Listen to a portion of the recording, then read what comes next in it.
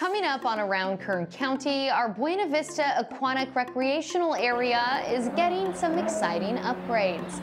We're sharing details on the grant funding making this all possible. And we're honoring behavioral health and recovery services upcoming awareness campaigns, how you can get involved and access their important resources. When Around Kern County starts now.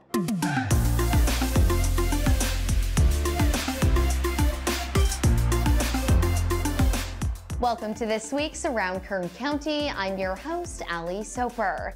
During this week's board meeting, supervisors proclaimed September as National Suicide Prevention Month as well as Recovery Month here in Kern County. With September right around the corner, Behavioral Health and Recovery Services wants residents to know they are not alone. BHRS is the first county department in the state to implement zero suicide in their system of care to reach the goal of making suicide a never event. BHRS will also be hosting a series of workshops to raise awareness about this important topic to ensure everyone in our community knows how to access their extensive resources. On the hotline, we're also doing 988, which is the new name for hope in this county. 988 is for anybody. You don't have to have a mental illness. You don't have to have a substance use disorder. You're having a bad day, call us. Someone is there 24 7. We are here to help. BHRS will also be advocating for evidence based treatment and recovery practices in honor of their upcoming Recovery Month. For more information about these important services, please visit kernbhrs.org. Also during this week's board meeting, supervisors appointed a new director of Kern County Public Works. Meet Samuel Lux, who is replacing Craig Pope, who recently retired after 40 years of service to Kern County. Mr. Lux has two Bachelor of Science degrees in both accounting and civil engineering. He is also a licensed civil engineer. Mr. Lux has worked for Kern County since 2011 and has served as the Assistant Director of Public Works for the last four years and also has been the Interim Director of Public Works since April of this year. We'd like to congratulate Mr. Lux on his appointment as Public Works' new director. We're sharing some exciting news for our outdoor enthusiasts. Kern County has been awarded 2.7 million in Proposition 68 funding from California State Parks for the improvement project at Buena Vista Aquatic Recreational Area. Only 25 communities in the state received funding during this allocation, and we are so proud to be one of them. I think it's great for us to finally be able to give back, add some amenities, and make some improvements, um, not only just our parks within our county of like pocket parks, but now our regional parks as well come to Kern County, come see what we have to offer. Buena Vista Lake is amazing, it's beautiful. Uh, the water is warm during the summer, um, there's plenty of activities. Improvements include a new splash pad, shaded picnic pavilion, dog park, extension of the existing paved multi-use trail, four floating boat docks, shoreline erosion control, and drought-tolerant trees with a smart irrigation system.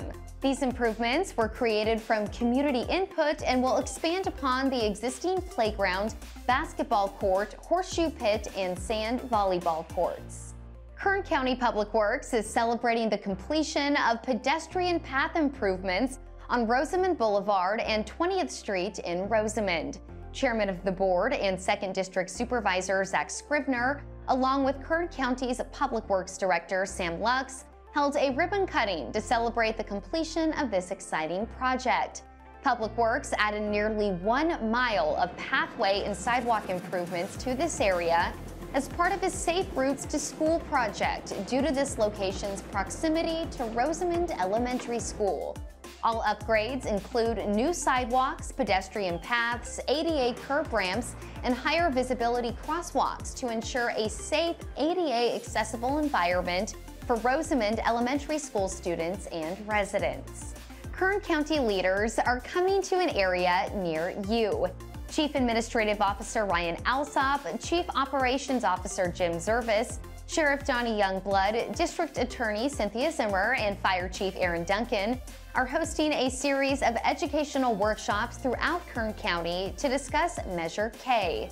Kern County's unincorporated public safety, vital services, and local control measure. If enacted, this would establish a one cent locally dedicated and controlled sales tax in unincorporated Kern to address community priorities such as public safety, attracting jobs and industries, and helping to address mental health and addiction challenges.